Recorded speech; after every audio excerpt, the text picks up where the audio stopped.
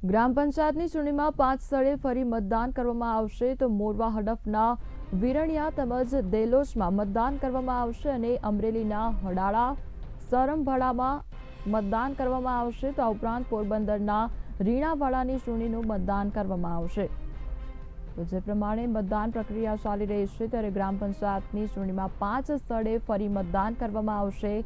મોરવા, હડફના, વિરણિયા તેમજ દેલોસમાં મતદાન કરવામાં આવશે. તો આ ઉપરાંત અમરેલીના હડાણા તેમજ સરંભડામાં પણ મતદાન કરવામાં આવશે. તો પોરબંદરના, રીણાવાડીના ચૂંટણીનું મતદાન કરવામાં આવશે.